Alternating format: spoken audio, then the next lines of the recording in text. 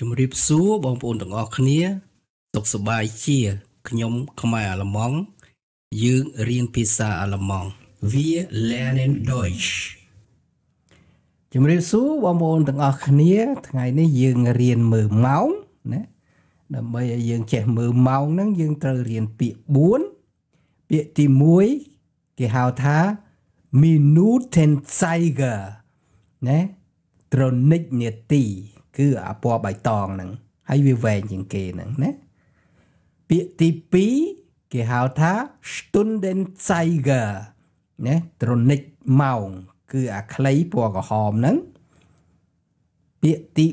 3 Minutenstrich ណា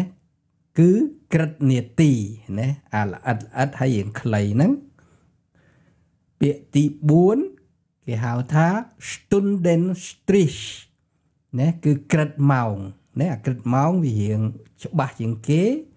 ហើយរៀងវែងជាងអាក្រិតរបស់នេតិហ្នឹងហើយគឺវានៅចំលេខទាំងអស់ហ្នឹងហ្មងណានៅចំលេខទាំងអស់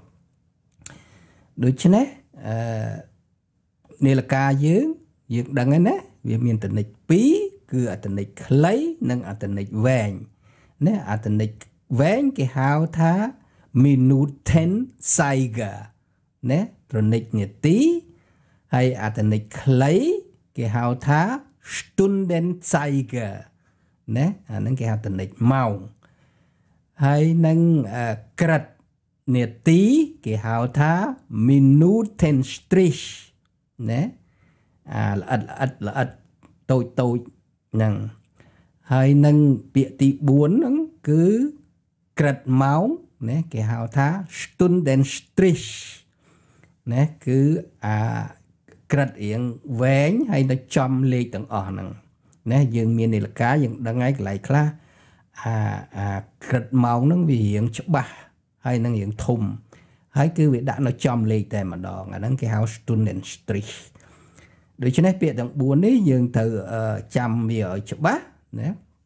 ហើយបន្ទាប់មកទៀតហ្នឹងក្នុងភាសាអាល្លឺម៉ង់ហ្នឹងគឺគេប្រើជាពិភាកណាប្រភាក ណាមានន័យថាពីម៉ោង12ដល់ម៉ោង3ហ្នឹងណាយើងថា15នាទីហ្នឹងអាល្លឺម៉ង់ក៏គេប្រើ15នាទីដែរតែភាគច្រើនគេប្រើជាប្រភាកណាគេហៅថា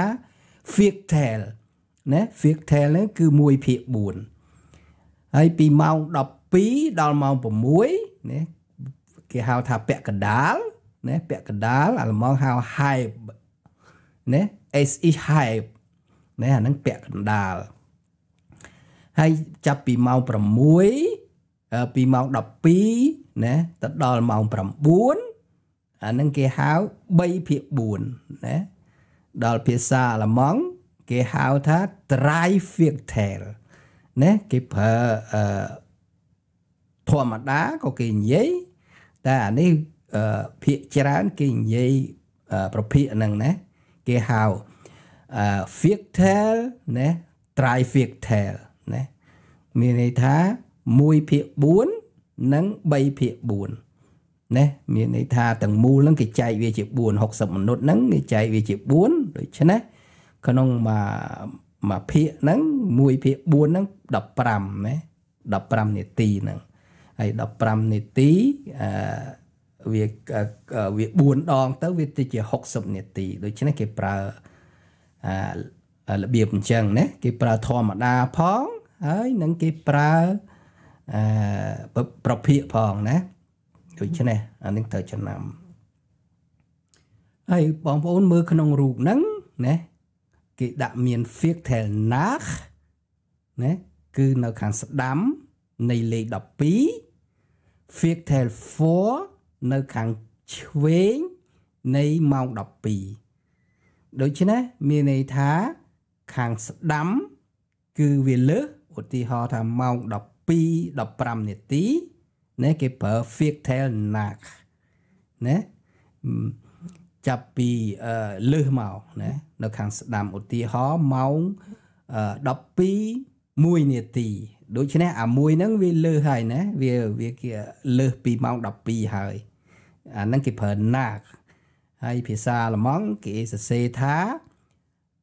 eine Minute ណា nach 12មានថាម៉ោង12 1នាទីណាដល់យើងថាម៉ោង12 10នាទីណាគេយកគេនិយាយបញ្ជាក់វិញភាសាអាល្លឺម៉ង់គេយកនាទីមកដាក់មុខ10 Minuten nach 12 មានន័យថាម៉ោង12 10នាទីហើយដល់យើងមើលនៅខាងឆ្វេងណាគេប្រើ for វិញណាខាងឆ្វេងម៉ោង12មានន័យថាអឺវានៅខ្វះវិញណាកាលណាលើសគេប្រើ nak នៅខាងស្ដាំកាលណា for គេប្រើខ្វះណាឧទាហរណ៍គេនិយាយថា viertel for eins ណាមានន័យថាខ្វះ15នាទីទៀតម៉ោង1ណាអឺអាចយើងអាចថាអឺខ្វះ10នាទីទៀតម៉ោង1ណាយើងត្រូវថាម៉េច10 Minuten vor 1មានន័យថាខ្វះ10មីនុតទៀតម៉ោង1ដូច្នេះភាសាអាល្លឺម៉ង់គេនិយាយដាក់ បញ្ជាណាគេដាក់នាទីសិនបានគេដាក់ម៉ោងហ្នឹងឥឡូវយើងរៀនមើលម៉ោងហ្នឹងណាយើងមើលពីម៉ោងដែលវានៅខាងវាលើសពីម៉ោង12ណានៅខាងស្ដាំនៃម៉ោង12រូបទី1ណាយើងរាប់វាពីខាងឆ្វេងមក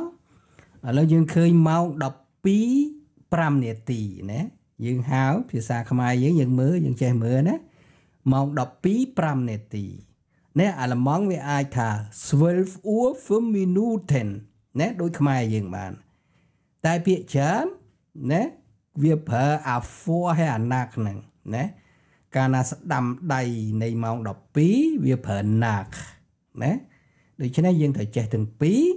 ចេះទាំងធម្មតាផងចេះទាំងប្រើ nach ហើយនិង for ផងហើយឥឡូវយើងរៀនពីខាងស្ដាំមានន័យថា nach nach ហ្នឹងគឺថាវាលើសណាម៉ោង12 5នាទី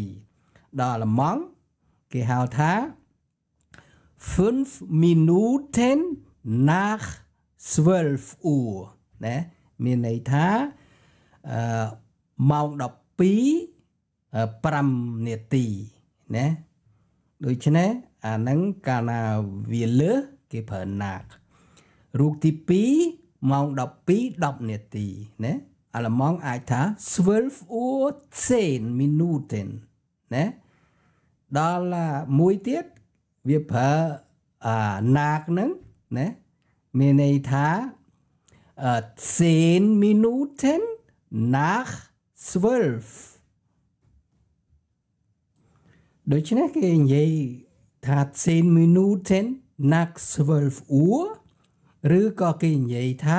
12 Uhr 10 Minuten ណាអាហ្នឹងថាចេះទាំងពីរហ្នឹងរូបទី3ណាបើយើងមើលក្នុងរូបណានៅស្ដាំបងអស់ហ្នឹងម៉ោង12 15នាទីណា12 15នាទី ដល់ភាសាអាល្លឺម៉ង់យើងអាចហៅថា12 Uhr 15 Minuten មានន័យថាអឺ ដូចខ្មែរដែរតែគេប្រើតិចបំផុតភាសាហ្នឹងណាគេត្រូវប្រើអឺប្រភេទណាអាប្រភេទដែលយើងរៀនមុនហ្នឹងមានគេគេនិយាយថាអឺ Viertel nach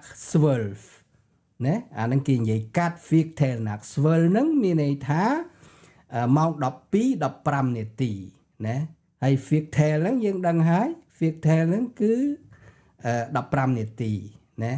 ហើយតាគេណាគេប្រើដាក់ណាកមួយទៀតមានន័យថាអា Viertel ហ្នឹងវាលើសណាវាលើសម៉ោង12ហើយមានអា Viertel 4ហ្នឹងមានន័យថាវាខ្វះវិញវានៅខ្វះ Viertel ខ្វះ15នាទីទៀតវាម៉ោង1ឧទាហរណ៍ថាម៉ោង12:45ណាយើងហៅភាសាខ្មែរហ្នឹងហើយអាហ្នឹងចាំខ្ញុំបញ្យល់នៅរូបខាងក្រោយនេះទៀត ហើយអានេះគឺមកដល់អា for ម្ដងណាមិញយើងរៀនអាណាក់ដូចនេះតែតនិចវានៅខាងឆ្វេងនៃលេខ12គេប្រើ for តនិចវានៅខាងស្ដាំគេប្រើលេខ12គេប្រើ nak ឥឡូវអា for នេះមានន័យថាអឺរាប់ពីឆ្វេងមកម៉ោង12:35នាទីណា ដល់ភាសាអាល្លឺម៉ង់ណាគេហៅថាអឺ35 Minuten vor 1ណាអឺការនិយាយជាមួយអាប្រភេទហ្នឹងអាម៉ោង1ហ្នឹងគេអត់ប្រើម៉ោង13ទេគេប្រើម៉ោង1ណាគេហៅម៉ោង1ដូច្នេះអាហ្នឹងគេនិយាយជាទូទៅអញ្ចឹងបើជាផ្លូវការអាហ្នឹងយើងសរសេរមានន័យថា ម៉ោង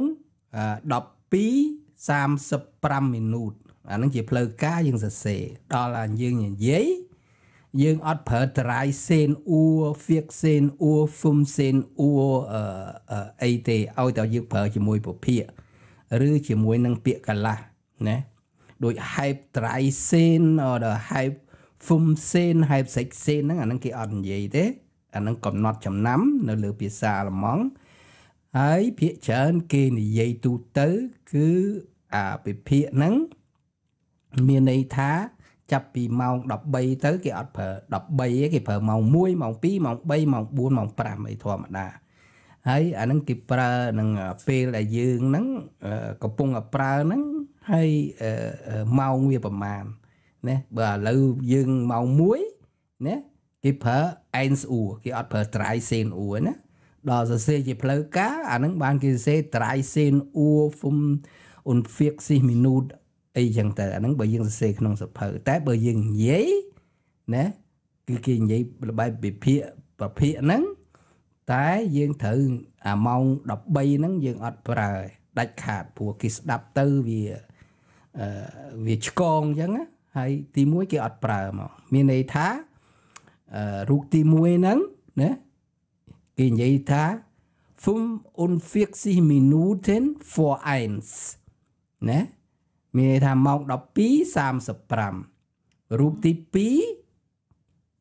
អឺម៉ោង12:40ណាភាសាខ្មែរយើងដល់ភាសាអាល្លឺម៉ង់មានន័យថា20 Minuten vor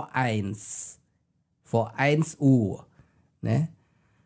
រូបទី3 ណាម៉ោង12:45មីនុត45នាទីណាអាល្លឺម៉ង់វាហៅ Vier tell for eins ណានៅខ្វះ15នាទីទៀតមានន័យថាអឺម៉ោង1ណាឬក៏គេប្រើ try fig tell ណា try fig tell 1មានន័យថា try fig tell 12 មានន័យថាម៉ោង12:45នាទីហ្នឹងដូច្នេះអានឹងកំណត់ចំណាំណាកាលណា fig tail ណាគេប្រើជាប្រភេទហ្នឹងនៅខាងតនិចនៅខាងឆ្វេង គេប្រើ for តនិចវានៅខាងស្ដាំ ចាប់ពី29ទៅដល់ ម៉ោង12មួយ minutt ហ្នឹងគេប្រើ nak ដូច្នេះអានេះម៉ោងគត់ណាម៉ោងគត់ណាឧទាហរណ៍ថាម៉ោង13ណា es ist 13 Uhr ណាពេលនេះម៉ោង13ណារូបជាប់គ្នានឹងមករូបទី2 es ist 14 Uhr ណាពេលនេះម៉ោង14ណារូបទី3 Es ist 15 Uhr ណាពេលនេះម៉ោង15ណាភាសាអាល្លឺម៉ង់គេប្រើម៉ោងពេលថ្ងៃណាចាប់ពីម៉ោង12មកគេហៅម៉ោង13 ម៉ោង14ម៉ោង15ម៉ោង16ម៉ោង17ម៉ោង18ម៉ោង19នេះម៉ោង20ម៉ោង21ម៉ោង22ម៉ោង23ដល់ម៉ោង24ហើយចាប់ពីម៉ោង24ហ្នឹងគេហៅម៉ោងវា0វិញម៉ោងវា0គឺម៉ោង24ហ្នឹងគឺម៉ោង0ហើយចាប់ពីម៉ោង0ហ្នឹងទៅមានន័យថាគេថាអឺអឺ ម៉ោងអឺអឺយប់ណាមានថាចាប់ពីម៉ោង0ហើយដល់បន្តទៅទៀតហ្នឹងគឺគេប្រើម៉ោង1ណា1 Uhr មានថាម៉ោង1ម៉ោង1ហ្នឹងគឺគេសំដៅម៉ោង1យប់ណាស្វាយអ៊ូត្រៃអ៊ូណាទៅដល់ហ្វុនអ៊ូនៅតែគេថាម៉ោង5យប់ ដល់ម៉ោង6អ៊ូអាហ្នឹងគេហៅម៉ោង6ព្រឹកវិញណាដូច្នេះភាសាគេហ្នឹងគេចែកយ៉ាងច្បាស់អញ្ចឹងហើយអាអ្នកសាមញ្ញគេហៅម៉ោង1ម៉ោង2ម៉ោង3ដូចខ្មែរអញ្ចឹងដែរប៉ុន្តែភាគច្រើនណាជាផ្លូវការដែលខ្ញុំបរៀនហ្នឹងគឺបរៀនជាផ្លូវការ កាលណាគេនិយាយម៉ោង1ម៉ោង2ម៉ោង3ណាជាផ្លូវការគឺម៉ោងហ្នឹងគឺនៅពេលយប់ ណាពីម៉ោង0ទៅដល់ម៉ោង5ហ្នឹងគេថាយប់ណាដល់ដល់ម៉ោង6អាហ្នឹងគេថា6ព្រឹកណាហើយបើគេនិយាយថាម៉ោង13អាហ្នឹងគឺម៉ោង1ថ្ងៃខ្មែរហ្នឹងខ្មែរយើងយើងអត់សូវប្រើពាក្យដូចគេតែយើងប្រើថ្ងៃហើយនឹងយប់ឧទាហរណ៍ថាយើងប្រើម៉ោង1ណាម៉ោង1យើងបញ្ជាក់គេម៉ោង1ថ្ងៃណាហើយ ដល់ម៉ោង13យើងអត់ដែលប្រើយើងប្រើម៉ោង1ដែរតែយើងប្រើម៉ោង1យប់ដូច្នេះមានមានម៉ោង1ថ្ងៃម៉ោង1យប់ណាភាសាខ្មែរយើងវាម៉ោងមានម៉ោង2យប់ម៉ោង2ថ្ងៃហើយដល់ភាសាអាល្លឺម៉ង់គឺគេសរសេរជាផ្លូវការកាលណា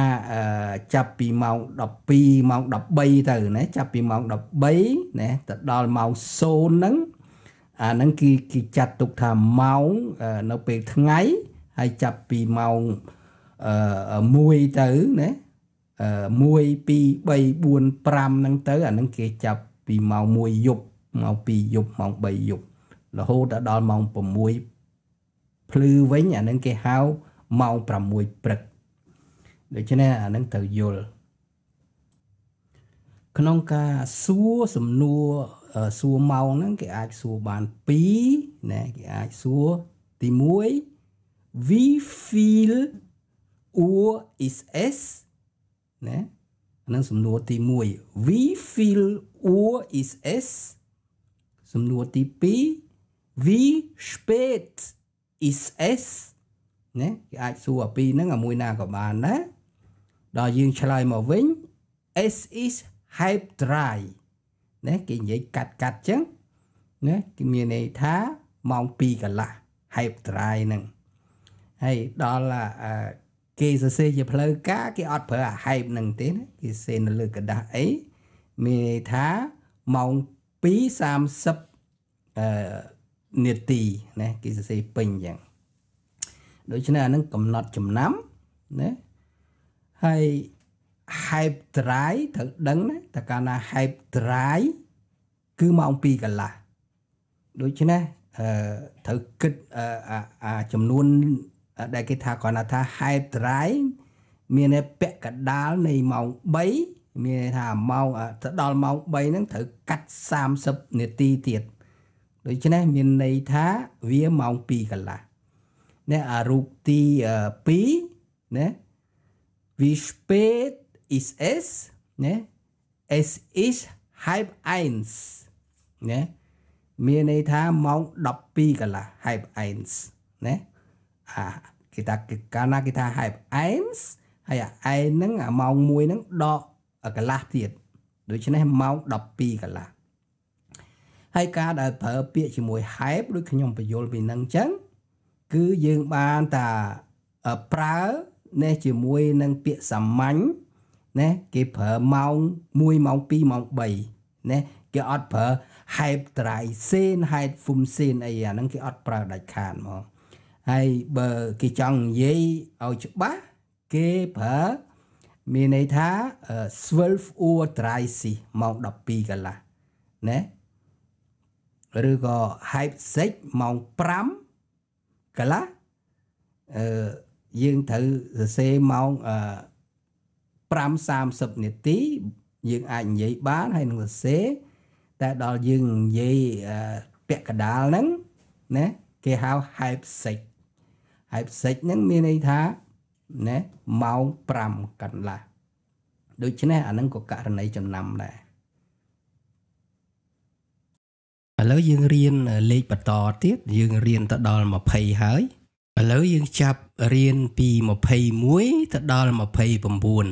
29ក្នុងលេខ21ទៅដល់លេខ29ហ្នឹងយើងមានកត់សម្គាល់ខ្លះដែលយើងត្រូវដឹងតាំងពីយើងលេខ 17ណាគេអានមិនមែនអឺស៊ីបេនសេនទេណាគេអានស៊ីបសេន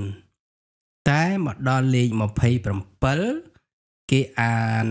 sieben und zwanzig sieben und zwanzig ដូច្នេះអានឹងត្រូវកត់ចំណាំឥឡូវខ្ញុំអានឲ្យស្ដាប់1 und 20 22 23 24 25 26 27 28 29ខ្ញុំអានម្ដងទៀត21 22 23 24 25 26 27, 28, 29ឥឡូវយើងរៀនលេខបន្ត30ថា30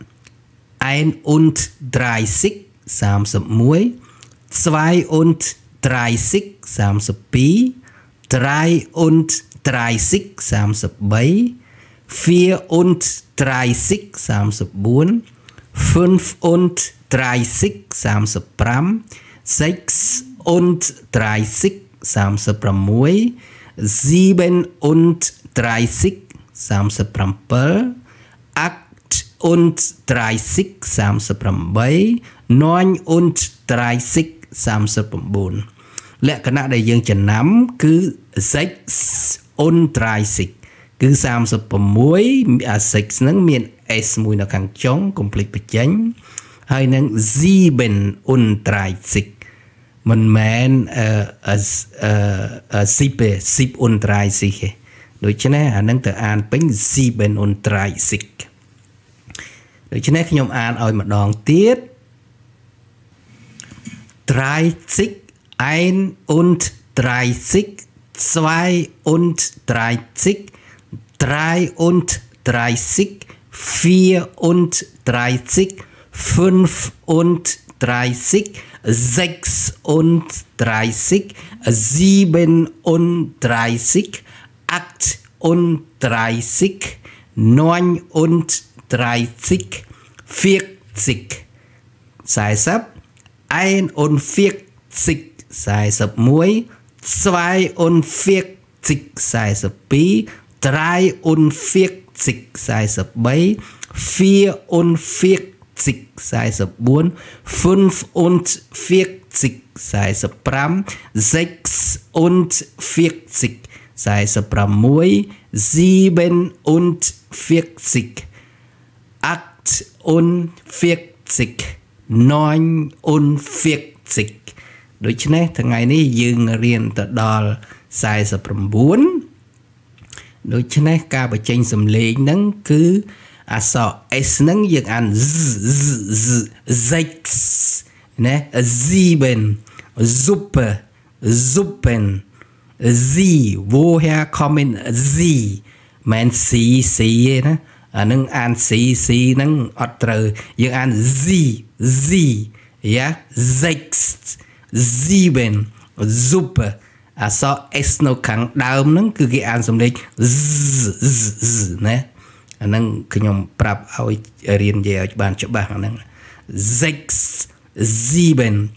super suppen sie woher kommen sie ណាដូច្នេះអក្សរ S ហ្នឹងចំណាំ ដូច្នេះថ្ងៃនេះខ្ញុំមានប៉ុណ្ណឹងឲ្យណាការរៀនអឺសួរម៉ោងមើលម៉ោងណារបៀបរបបមើលហ្នឹងវារៀងអឺស្មុគស្មាញបន្តិចតែបើយើងរៀនលំអិតទៅគឺវាមិនជាណាស់ណាទេ គឺយើងអាចរៀនយកបានហើយឲ្យឲ្យស្គាល់ណាប្រើរបៀបជាពភាកប្រើពាក្យកដាលអីហ្នឹងគេត្រូវប្រើយ៉ាងម៉េចយ៉ាងម៉េច នឹងឲ្យចាក់មើលហើយមើលចឹងទៀតទៅណាខ្ញុំសូមអរគុណដល់បងប្អូនទាំងអស់គ្នា ដែលបានទស្សនាការបង្រៀនភាសាអាល្លឺម៉ង់របស់ខ្ញុំជូនពរដល់បងប្អូនទាំងអស់គ្នា មានសេរីសួស្តីក្នុងគ្រួសារសុខសប្បាយទាំងអស់គ្នា និងសុខភាពល្អពីខ្ញុំខ្មែរអាល្លឺម៉ង់ Auf Wiedersehen bis zum nächsten Mal Tschüss